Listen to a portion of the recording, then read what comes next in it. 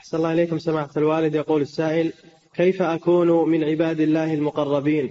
إذا عملت أعمال المقربين مع إخلاص النية إذا عملت أعمال المقربين مع إخلاص النية لله عز وجل تكون مثلهم بإذن الله. نعم. فليس هذا لأناس مضوا وانقضوا؟ لا هذا مستمر. لكل من عمل بعملهم وسار على نهجهم. لكن لا تجزم لنفسك ولا نجزم لك. هذا إلى الله سبحانه وتعالى. وإنما نقول تعمل الأسباب. تعمل الأسباب. وأما حصول المطلوب فهذا عند الله سبحانه وتعالى. نعم.